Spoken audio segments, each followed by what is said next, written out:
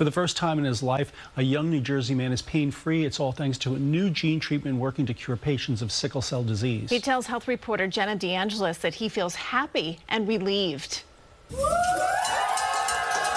It's a milestone moment for Gerald Corte. Ringing the bell means completing his treatment for sickle cell disease. It just felt really great to know that that chapter of my life is over. So happy and so thankful that he's sickle cell free.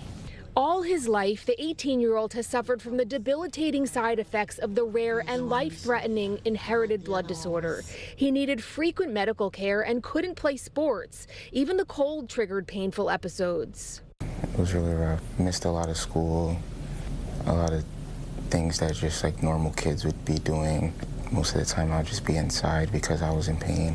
It's been incredibly painful for his mother, who lost her oldest son, Emmanuel, to sickle cell when he was seven. It's been rough and there was no treatment at that time. Now there is. Gerald is the first patient in New Jersey to be treated with groundbreaking Lyfgenia treatment outside a clinical trial and following FDA approval in 2023 for patients 12 and older. What's going on? How you feeling? Treated by Dr. Stacy Rifkin Zenenberg at Hackensack Meridian Joseph M. Sanzari Children's Hospital. The gene therapy treatment is um, a treatment where uh, we are essentially curing patients of their disease. She explains doctors collect a patient's blood stem cells, which are then genetically modified in a lab. The patient undergoes intense chemotherapy before the modified cells are infused back in the body to produce new healthy red blood cells.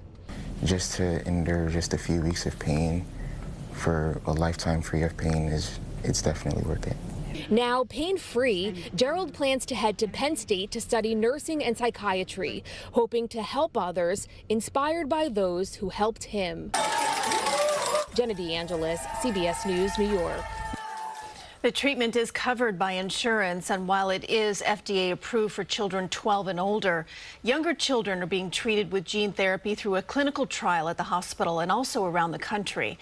Jenna is our health and wellness reporter. If you have a story idea, scan the QR code there on your screen.